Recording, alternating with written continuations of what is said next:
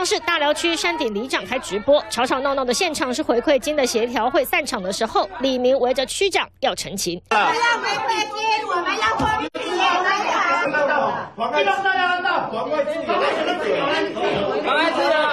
区长说赵下去。身上上衣的男子，他是大寮区长洪博雄，请警方保护他的人身安全，还嚷着被限制自由。原来十四号上午，大寮区公所针对掩埋场的设置以及回馈金的问题开协调会，会议结束，区长准备要离开。原本在外场的山顶李明要求要找区长沟通，双方爆发冲突。啊，就是抓着你就对。知道下大雨的时候，水是往哪里冲？就是往我们家那边冲。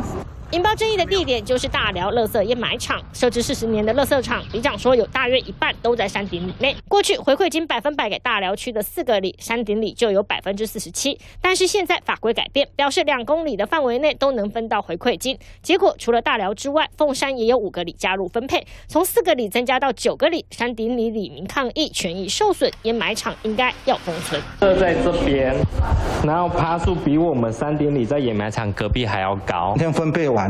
哦，大概山顶里有，应该是在二三到二十五左左右。回馈金要怎样分配？争议至少从六月份就开始。李明指控区长并不尊重大家意见，要求当面澄清，结果有人挂彩，前里长更是进了急诊室挂点滴。事件该怎样圆满落幕？恐怕还要继续协调。三立新闻黄志忠、朱玉荣高雄报道。